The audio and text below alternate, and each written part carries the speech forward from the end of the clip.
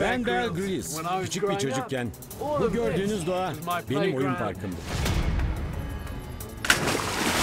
Şimdi merak ettiğim, acaba günümüz çocuklarının bilgisayar ve cep telefonlarından vazgeçip iki hafta burada, vahşi doğada yaşamaya cesareti var mı?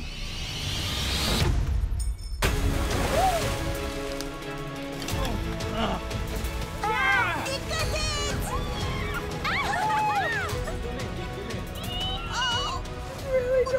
istemiyorum. Son bir gayret, başaracaksın.